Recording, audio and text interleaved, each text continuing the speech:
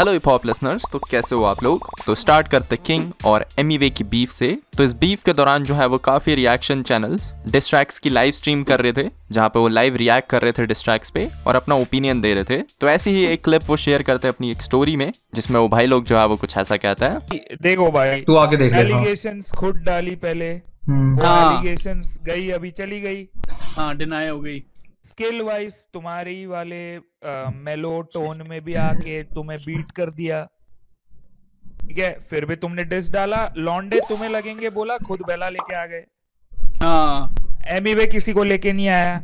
And हाँ। अब story ऐसी डाली है कि यार ये तो खिंचता जा रहा है ब्रो मैं नहीं खेल रहा मैं बैट लेके जा रहा हूँ यार कोई बात हाँ। नहीं भाई कल रन बना हाँ। लेंगे तुम यार ये आउट भाई जीत के यार ये आउट ही नहीं हो रहा मेरे को घर जाना है ये क्या है भाई कम ऑन मम्मी बुला रही है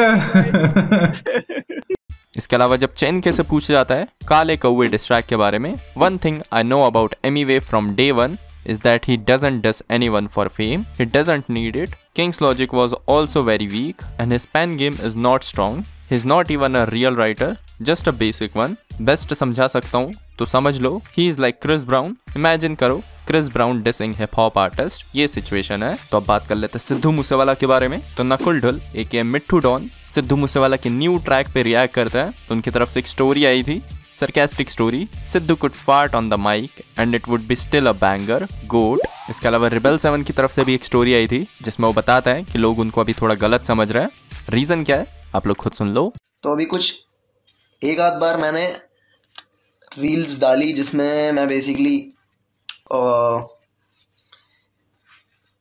दिखा रहा हूँ कि जो भी गाने हैं, उनके सैम्पल्स मतलब कहाँ से उठाए हैं और वो सारी चीज़ें। बट पता नहीं, बहुत लोगों को कॉन्टेक्स्ट ही अलग समझ आ रहा है। उनको ये लग रहा है कि मैं शायद किसी तरीके से ऐसे बोल रहा हूँ कि भाई मतलब मुझे शायद किसी बात की दिक्कत है कि ये लोग सैंपल यूज़ कर रहे हैं। मुझे क्यों दिक्कत होगी भाई? अगर मुझे दिक्कत होती तो मैं स्प्लाइस का प्रीमियम क्यों लेता? मुझे कोई दिक्कत नहीं है भाई। बस, बात ये है कि मैंने भी जब स्प्लाइस पे वो सैंपल सुना तो मुझे अच्छा लगा कि भाई अच्छा वो मतलब ये गाने का सैंपल यहाँ से आया है। तो मुझे लगा शायद जिस तरीके से मेरे को इंटरेस्टिंग लगा, शायद तुम लोगों को भी लगे।